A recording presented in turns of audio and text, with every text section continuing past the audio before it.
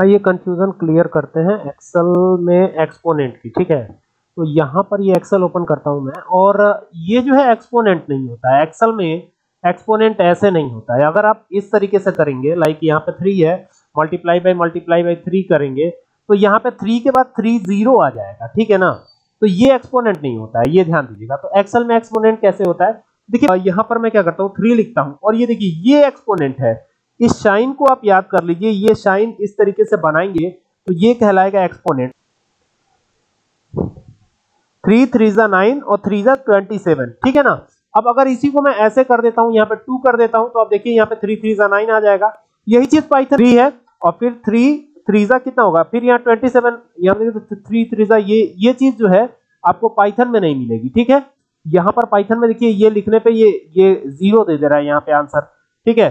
और अगर मैं यहाँ पे फिर से वापस से करता हूँ, देखिए, यहाँ पे फिर ये थ्री लिखा और फिर ये टू लिखा तो यहाँ पे देखिए, यहाँ पे वन आ रहा है, ठीक है ना?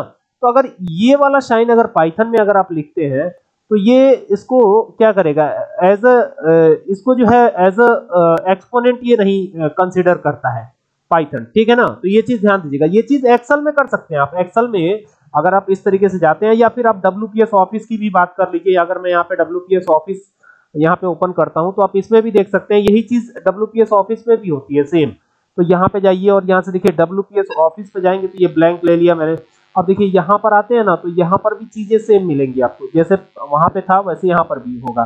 तो यहाँ देखिए इज़ इक्वल टू लगाया, यहाँ पे थ्री लिखा और ये एक्सपोनेंट दिया.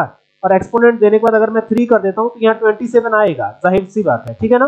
तो ये एक्सेल में एक्सपोनेंट इस तरीके से होता है. अगर आप मल्टीप्लाई बाई मल्टीप्लाई बाई करेंगे तो ये एक्सपोनेंट नहीं होगा. ये चीज़ ध्यान दीजिएगा, ठीक है? और यही चीज़ पाइथन में करना है तो मल्टीप्लाई बाई मल्टीप्लाई बाई करके करना पड़ेगा, ठीक है? तो ये चीज़ ध्यान रहे। उम्मीद करता हूँ बात समझ में आई होगी। वीडियो अच्छी लगे तो शेयर करें, साथ ही साथ चैनल को सब्सक्राइब करना ना भूलें। Thank you for watching this video